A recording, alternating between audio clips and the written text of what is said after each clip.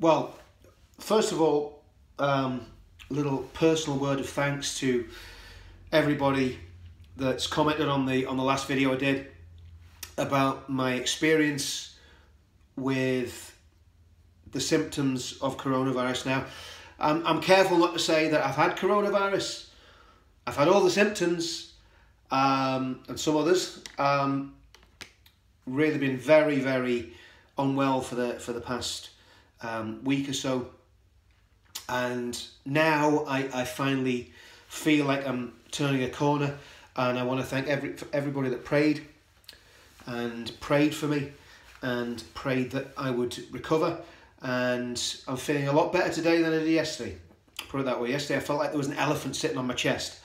Uh, it was very, very difficult to get air into the old lungs and not a, not a pleasant experience at all. But again, I, uh, I thank everybody for the prayers and I, and I give, give glory to, to God who is able to heal us and sustain us and, and keep us alive. But that's not what I want to talk about today. Um, hopefully, that is a um, an episode in my life that's going to be in the rearview mirror. Um, I'll be fully recovered and I'll be able to forget about it and, and start going about my my daily business and my life as, as, as normal. But I want to talk about the Corona cops. And who are the Corona cops? The, the Corona cops are these overzealous police officers that whether instructed by uh, central government, whether instructed by their police authorities, whether instructed by their superior officers, we don't know. But they seem to be taking great pleasure. These are these these seem to be the same sort of police officers that a few months ago and over the past few years were knocking on people's doors for comments they put on Twitter. Now they're sending drones up over the Peak District to film people who are walking in the Peak District. Now, I saw a video of a couple, or not a video, a screenshot from a video of a couple who I think they were walking a dog somewhere in the Peak District. I don't know where it was. They were miles away from anyone. They were social distancing. They were being responsible. The police singled these people out and humiliated them. The corona cops aren't just active in the Peak District. They seem to be active right the way around the country, stopping people, asking them where they're going. Now, let me make it clear, as someone who's just come through a very, very nasty virus, no matter what it was, because I'll never find out um, whether I had the coronavirus or not, because I won't be tested, because I didn't present myself in hospital, and that's what's giving the, the false indication that far less people are affected by this than there genuinely are. And I saw one study by uh, an Oxford University academic that thought that up to a half of the population could have already been exposed to or infected with the coronavirus. But that's not the that's not the issue.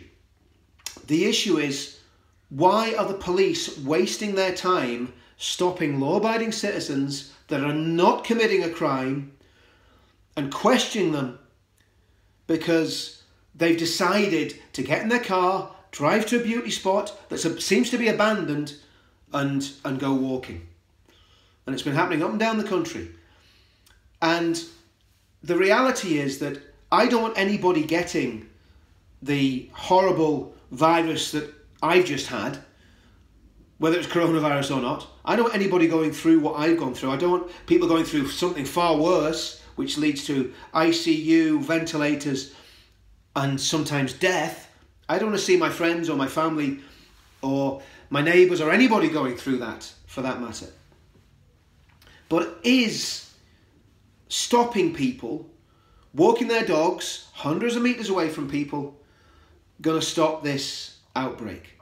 I very, very much doubt it. Now, obviously, there needs to be common sense. If you drive to a beauty spot and it's full of cars, or if you drive to a location where you want to go to a beach and the beach is packed with people, then there's something going wrong and social distancing isn't working. But two people walking their dog on their own on a deserted path in the Peak District is not a threat to the National Health Service. It's not a threat to life. In fact, quite the opposite. They're being sensible, they're distancing themselves from people. It'd be far worse to go out in the centre of London and walk down a busy road where you cannot isolate.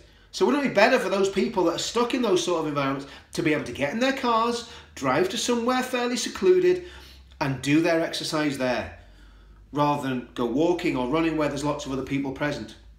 That's just a thought. But not according to the Corona cops, because the Corona cops want to take away your civil liberties. You see, we've got to realise that the vast majority of police, police officers are good people who are doing their best in difficult circumstances. Always. They're always dealing with very, very difficult and horrendous situations. However, there are senior officers, there are very, very zealous constables and sergeants who want to make your life difficult because they have a bit of power and they love to exercise that power. And they need to wind their necks in because this is not going to help the situation. If this continues, what will happen is people will start rebelling against it.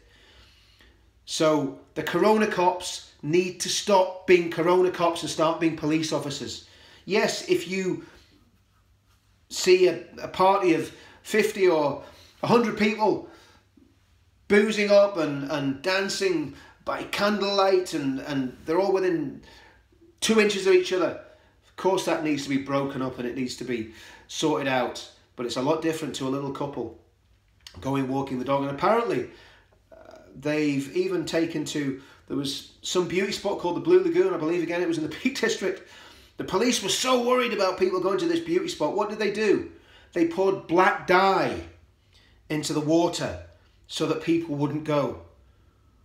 So they actually committed a criminal offence to stop people committing something that isn't a criminal offence.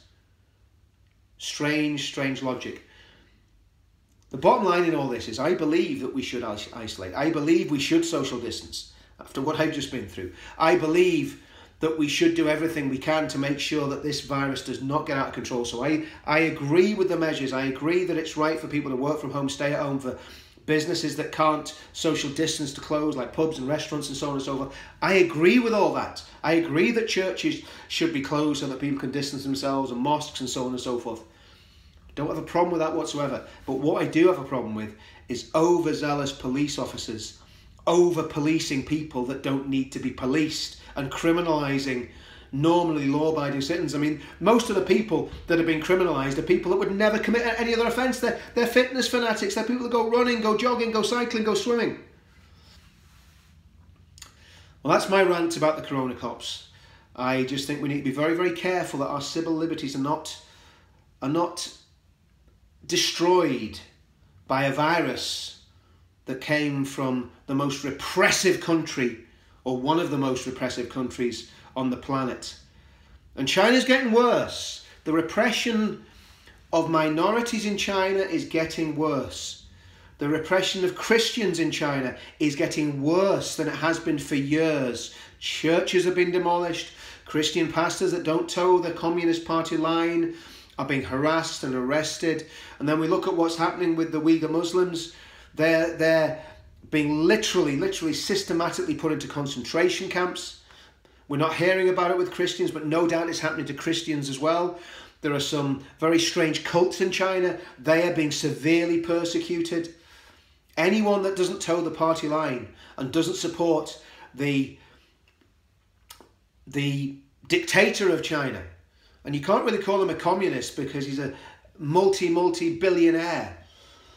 But China is a very, very repressive country. And it's very interesting that the first thing that happens when we get the China virus, and let's call it like it is, it came from China, it's a Chinese virus. When this virus comes into the country, the country suddenly becomes a communist country, gives loads of money away, and locks everybody in their homes. And then gets neighbours snitching on neighbours. People have been phoning the police complaining if one of their neighbours has gone out for more than one walk a day. Isn't that ridiculous? Isn't that disgusting? I never thought I'd see the day in Britain where neighbours were snitching on neighbours, just like they did in East Germany, just like they did in Bulgaria, just like they did in communist Russia. Well, welcome to the new totalitarian Britain. So we need to be very, very careful that the cure for the coronavirus the cure is not worse than the disease. See you all soon.